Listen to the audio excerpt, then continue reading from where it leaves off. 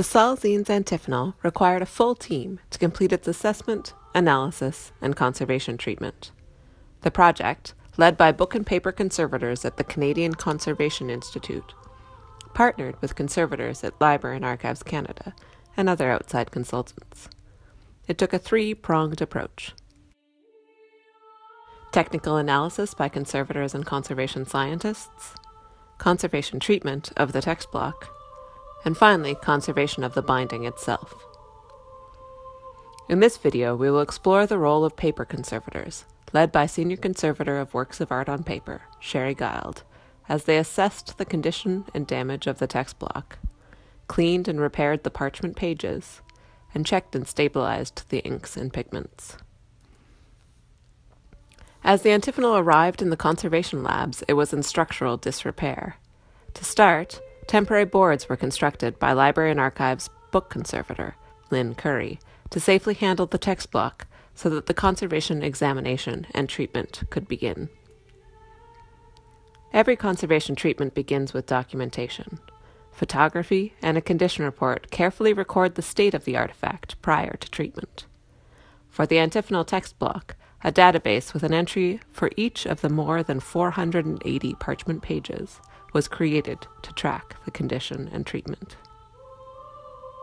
Carefully observing each square centimeter of media through a microscope, conservators mapped areas of pigment loss, weakness, or damage, as well as surface grime, tears, creases, and other condition issues. Here we see conservation intern Chloe Pedisode working on the first illumination, the Annunciation, examining it through a stereo microscope. For highly decorated miniatures and historiated initials, color coded overlays were created by tracing on translucent paper over top of a full color before treatment photograph of the manuscript. These color coded maps would be used to guide treatment decisions and precisely document areas where adhesive would later be applied. Dirt and grime had accumulated on the surface of the pages from years of handling, storage, and use in sooty candlelit services. Careful surface cleaning of the margins and gutters was required, as dirt can absorb atmospheric acids, which accelerate the degradation of organic materials, and also act as a source of abrasion when pages rub together during page turning. Conservation intern Mary Lou Beauchamp used a soft goat hair brush to remove both debris from the gutters and loosely adhered dust from the perimeters of each page. For more ingrained surface dirt, sponge erasers were employed. Designed for the application of cosmetics, these soft sponges minimize abrasion risk to the parchment and do not crumble, ensuring no eraser crumbs are left behind. The sponges were also tested by conservation scientist Scott Williams on parchment mock ups to ensure that no residue of the sponges themselves was transferred.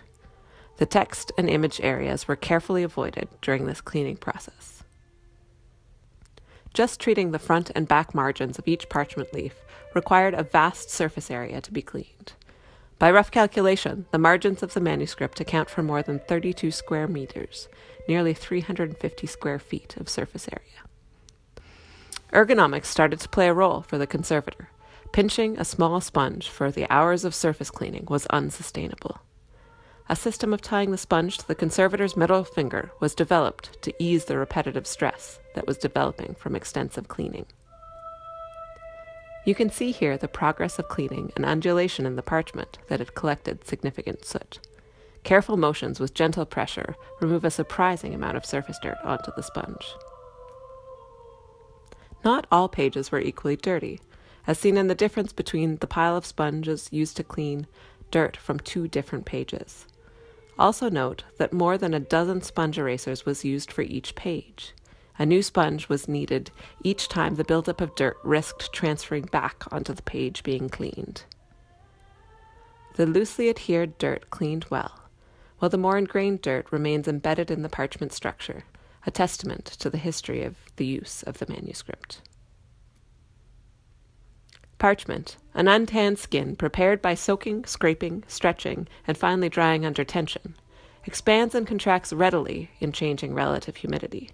This shifting surface, as well as the aging of pigment binders, can cause the media to become powdery or friable, as seen in this blue azurite initial, or to lose adhesion with the smooth parchment surface and flake, as seen in this transmitted light image of an area of lead white.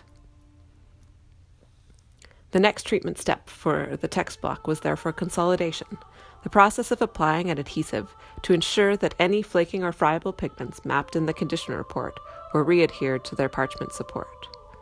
This consolidation will help minimize any future loss of pigments during careful handling of the antiphonal. Several protein based adhesives were considered to consolidate the antiphonal pigments due to their compatibility with the protein parchment pages. Ultimately, isinglass, a collagen adhesive extracted from the dried swim bladders of certain fish, was chosen to readhere the loose media. The dried bladders on the left are extracted in warm water, strained, and then dried into the clear film on the right. This film can be reactivated as an adhesive in water as needed. The resulting adhesive is relatively elastic and at low concentration has little effect on the appearance of the pigments due to a low refractive index.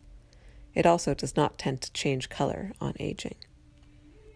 To apply the consolidant, several methods were used.